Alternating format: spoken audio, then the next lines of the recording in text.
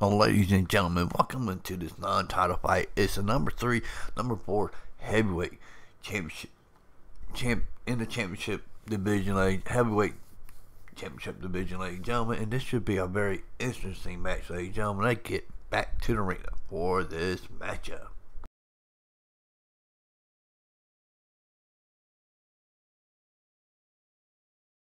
Coming up next, it's a UFC heavyweight showdown.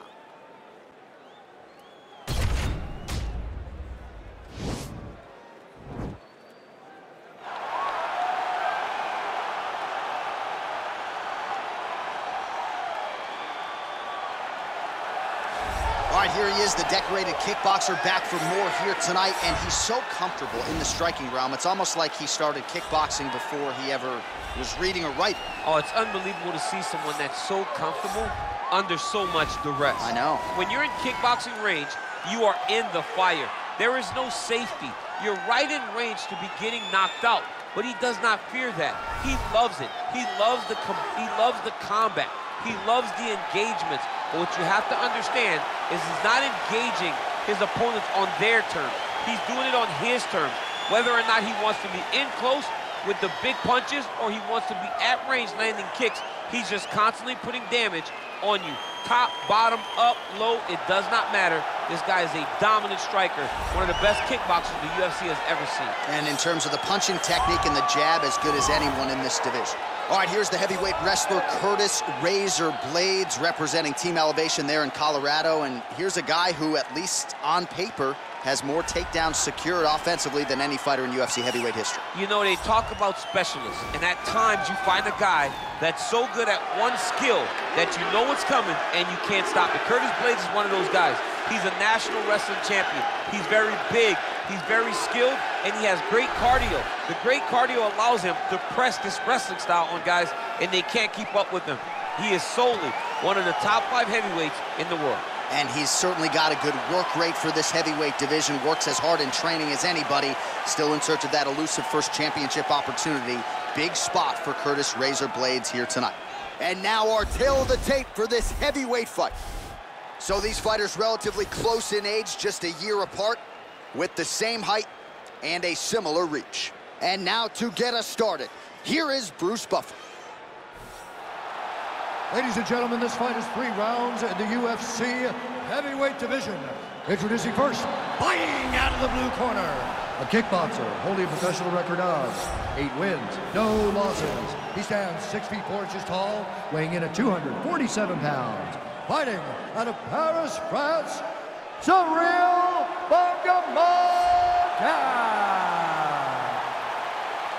And now introducing his opponent, fighting out of the red corner.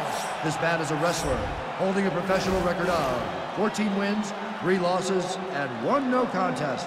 He stands 6 feet 4 inches tall, weighing in at 265 pounds.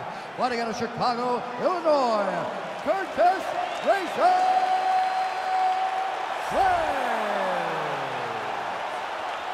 And when the action begins, our referee in charge of the octagon is Ben Miragliotta. Dan Miragliotta. You ready? You ready?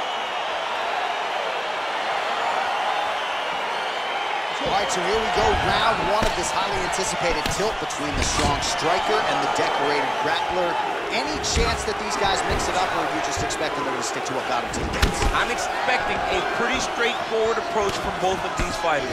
The striker will try to lead with his punches and his kicks, and the grappler will try to time a takedown, time a clinch position so he can start to work towards a lot of those great judo throws that he possesses. Once on the ground, he is in his realm and will start to chase submissions.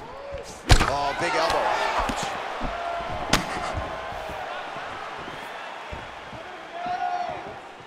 Oh! He missed with that jab attempt there. That one snuck in. Nice strike.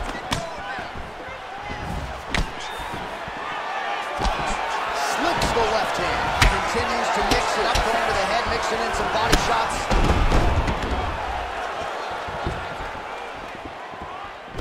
All right, he engages in the single collar tie. Quick level change. Oh, he went single, rotated head outside. This dude's going for a while. Oh! Nice big take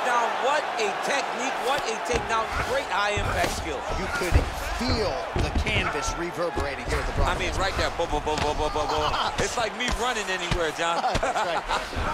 Back to the feet now. Oh, man. This ground and pound is good. Probably my favorite striking realm in MMA, and he's as good as he gets. The problem is his opponent is not controlling his posture. He's allowing his opponent to get up, and when he does, he creates this space to land these beautiful ground and pound combinations. Well, as usual, suffocating work from the top here by Blaydes. Under two minutes now to go in the round. Strong bottom work here, staying busy. Let's go, let's go, finish this So guy. 33 total strikes have landed for Curtis Blaydes. Oh, knee to the head, that never feels good. And they separate. Nice counter shot there. So he's really starting to put together some significant body shots here. These are going to take their toll as this fight goes on. Big punch lands through the middle. Well, he has certainly found the range and staying pretty busy here on the feet. He's being busy, but it's also the timing and the accuracy that's allowing him to land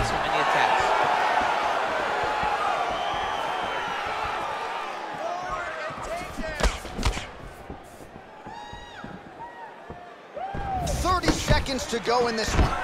Oh, nice block there from the crowd as he finally gets the takedown. He stayed committed to the offensive wrestling, and now he has his opponent where A sigh of relief from the people watching because they were tired of watching him flail around trying to get takedowns and get defended over and over again. Finally gets it. Now what does he do with the top control a deep breath. That was a great round. You're controlling me everywhere on the ground, but I need All right, so we now look back at some of the action from that previous round, DC. A lot of good highlights on both sides. I mean, a lot of good highlights from both competitors. They both should be very proud of what they accomplished. But I'm telling you, man, I'm not sure they can keep this up. If they land at this clip for another five minutes, somebody's going to sleep. All right, round two is now upon us. Pretty competitive first five minutes, I thought. It's exactly what we expected. We expected when we saw this on the match sheet that these two guys were evenly matched. Let's see who really takes control as we go into the second round. Big, powerful punch land. Now we get back to range.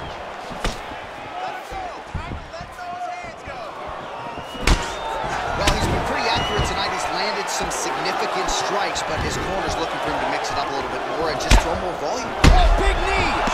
Oh, he's hurt bad. He's hurt bad, John. He's got to press it. He's got to go chase that finish down now. Oh, big knees!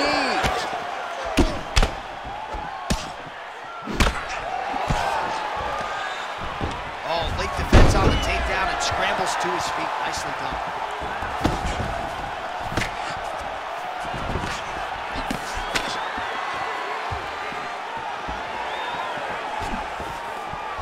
All right, single collar tie now. Oh! He's in trouble. He's hurt bad.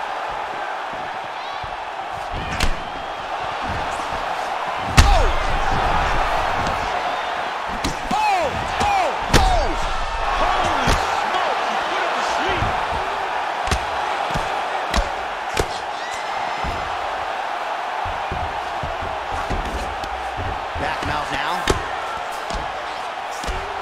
So we have crossed the midpoint in this one.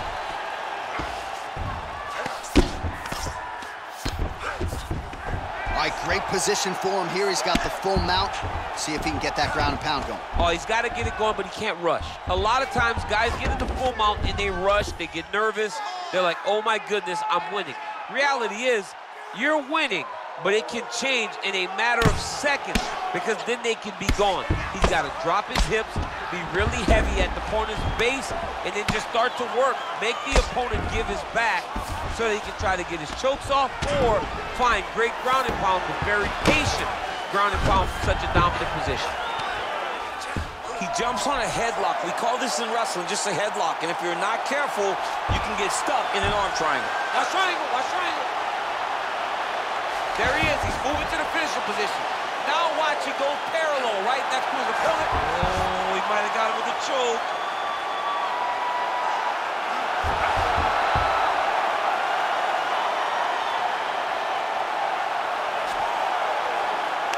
He got it. He got it, John. Oh, he got it done, absolutely. He finishes his opponent by way of submission.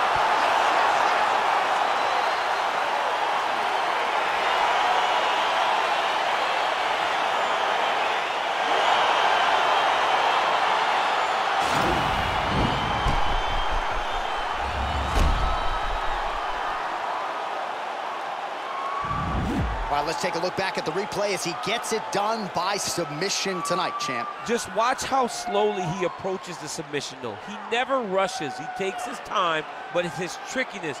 It's his ability to trick people into going to the floor with him that puts them in danger and finishing fights.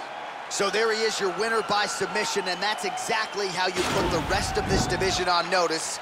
Looks like this guy could be a factor moving forward in this division. Ladies and gentlemen, referee Dan Miragliotta calls a stop to this contest at 4 minutes, 19 seconds of round number two. Declaring the winner by tap out due to arm triangle choke, Ciryl Bogomolka! All right, so there he is, all smiles and rightfully so after he gets the job done by submission tonight. You told me off the air before the fight that he was going to submit him, and that's exactly what happened, man. I mean, you know, this guy has such a great submission game that you cannot lay in his guard. And his opponent is known to lay in the guard. He made him pay for it tonight and got the submission victory. All right, ladies and gentlemen.